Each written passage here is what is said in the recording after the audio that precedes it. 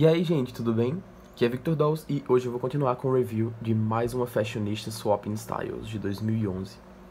Então, essa... Eita, nem li se essa é 2010 ou 2011. Enfim, é por aí. Vocês dêem uma olhada aí, Fashionista Swapping Styles, trocando de estilos que vocês vão achar.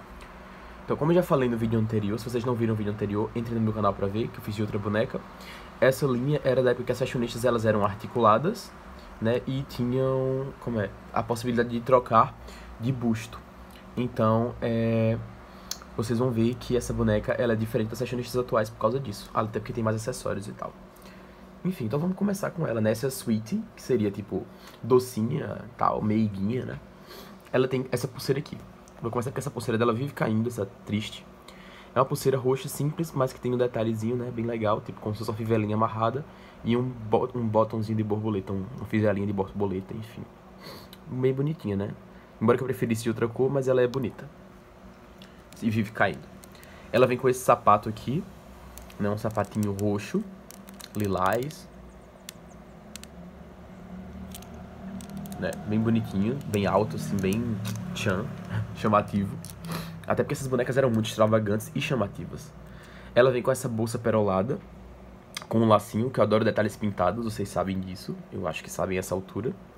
Né? Muito bonitinho. Olhem os detalhes, que lindinhos. Adoro esses detalhezinhos. Tá, com a sujeirinha aqui. Mas enfim, depois eu tiro.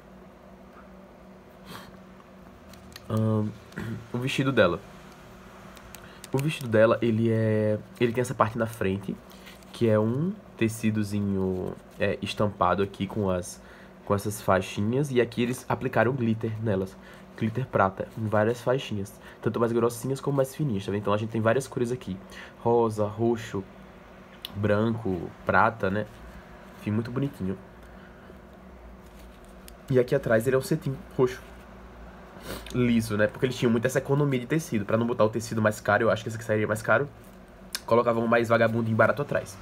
O que era uma das maiores críticas pra mim na época, né? Aqui em cima eles usam esse tecido que eu também odeio, que é um tecido é, com essas, como se fossem bolinhas, assim, né, é, pratas. Por que eu odeio? Porque isso aqui acontece, ó. Ele cai a cor, tá vendo? Ou seja, o que acontece. Isso sem você nem tocar, ele vai saindo e fica todo branco. Ou, se for vermelho, fica vermelho e perde todas essas, essas bolinhas. Então, só, às vezes, só de você ficar passando o dedo assim, ele já sai a cor. Pra mim, isso é horrível.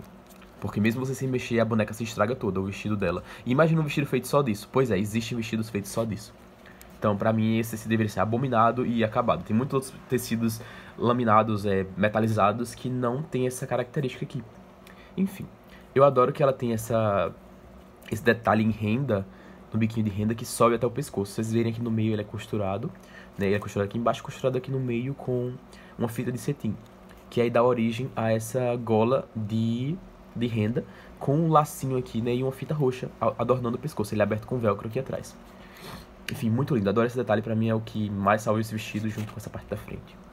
Os brincos dela, eles são brinquinhos pendurados, né, de coração com um lacinho. Né, eles não saem também, você tem que ter alguma técnica para tirar. Se você tiver, você tira, né, se você tiver essa boneca. E o cabelo dela, ele é preso aqui em cima, né, com uma liguinha e um lacinho. Eu tive que refazer o penteado dela, porque tinha torado a liguinha mas ele vem praticamente assim. É, e aqui em cima tem esse lacinho, né, que ele não é preso com nada, ele é preso só na liguinha, o que pra mim é horrível, porque toda a liguinha também, você quer tirar o lacinho, você não tem como colocar de volta, se você não colocar dentro da liga, né, passando a liga por ele. Mas enfim, né, vida que segue. Vou botar os dela aqui no cantinho. Um, o cabelo dela, vou falar pra vocês o cabelo dela, ele vem cheio de cola, olhem isso, muita cola, muita cola, isso porque já tá lavado, tá? Eu já lavei ele é, duas vezes e ele não saiu essa cola, só melhorou um pouquinho. Aí tem que ter umas técnicas pra tirar a cola e tal, mas como eu não mexo muito nessa boneca, eu decidi deixar ela com a cola mesmo e não tirar por enquanto. Depois eu faço isso quando tiver tempo. Enfim, ele tem umas mechas, ele é loiro com mechas é, mais, mais escurinhas, um loiro mais escuro. Né, vocês estão vendo aí, tá? Ele tem vários tons de loiro, umas mechas é, médias, escuras, enfim, adoro, muito bonitinho. Pena que ele é assim, ele é ondulado, com as pontinhas né, virando. A maquiagem dela, deixa eu mostrar pra vocês. Eu adoro as maquiagens dessa época. Porque, bem, tinha maquiagem, né? Batom rosa, blush suave, iluminador embaixo da sobrancelha, a parte brilhosa. essa parte rosa, que vem de dentro até em cima. E aqui tem é, ela também por dentro, né, da, da pálpebra. E aqui o marronzinho, que vai de cima até a parte de baixo aqui. Então vocês viram uma maquiagem diferentinha, bem rosa, mas muito bonita. Olhos azuis, enfim, né, que dão toda a diferença numa boneca, que hoje a gente já não vê mais boneca maquiada. O que é uma pena, porque boa parte da Barbie ela é uma boneca fashion, que tem roupas legais, acessórios e maquiagens. E hoje a gente vê bonecas, a maioria, sem maquiagem. Gente, fashionistas dificilmente tem uma sombra. É uma só que tem um batonzinho aqui e ali. Enfim. Espero que a Mattel mude nisso novamente, traga novamente bonecas fashion.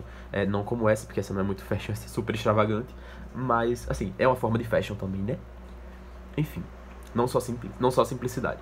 Espero que vocês tenham gostado. Se vocês gostam dessa linha, se vocês gostavam, se vocês tinham, se vocês viam, se vocês querem, comentem. Eu adoro quando vocês comentam porque a gente interage, a gente vê sobre o tipo de bonecas que vocês gostam. Façam perguntas, digam o que, é que vocês querem para os próximos vídeos. E é isso. Até o próximo vídeo e deixem seu like.